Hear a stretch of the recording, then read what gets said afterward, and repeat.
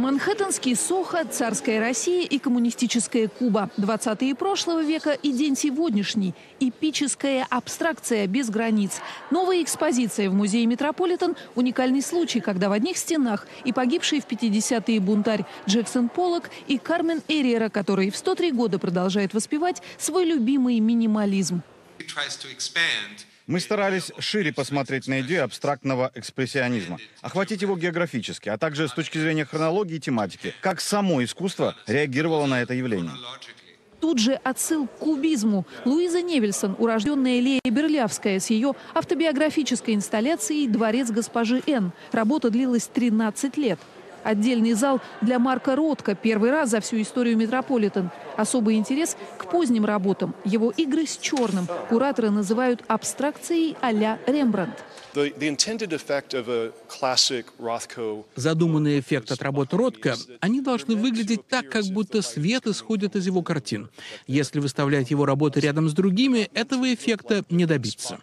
Всего несколько десятилетий назад к Ньюману, Ротко, Полуку и прочим художникам этого направления относились неоднозначно. Говорили, современное искусство – средство шпионажа. Такие картины раскрывают слабые места американской системы обороны. Труман ненавидел абстрактный экспрессионизм, обвинял в деградации и вырождении. Американская культурная интеллигенция, напротив, считала идеологией свободы. Безумный полог теснил поблекшего Матисса, льющаяся техника на огромных холстах становилась нормой, подпитываемый алкоголем модернизм, стилем жизни. Абстрактный экспрессионизм был первым американским художественным движением, которое оказало глобальное воздействие.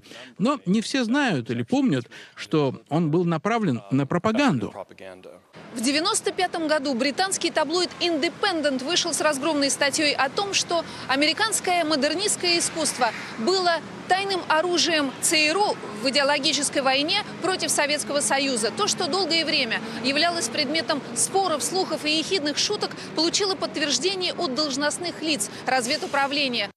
Собственно, об этом говорили и раньше. Американская креативность и интеллектуальная свобода против стиснутого коммунистической идеологии советского искусства. Культурные противостояния США и СССР в перерывах между массированными учениями по гражданской обороне. Борьба за культурную свободу обходилась недешево. ЦРУ провело через Конгресс десятки миллионов долларов на разные проекты, в том числе на поддержку абстрактного экспрессионизма. Интеллектуалы из Лэнгли заменили Министерство культуры.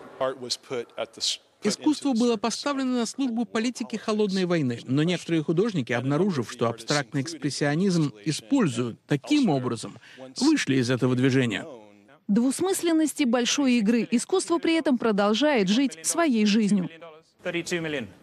Аукционные дома носят абстракционистов на руках. Музеи в очередь за полотнами Ротко и Полока. К слову, экспозиция в Метрополитен, что называется, живая. Экспонаты с течением времени будут меняться. На смену ветеранам экспрессионизма придут новаторы американской эстетики.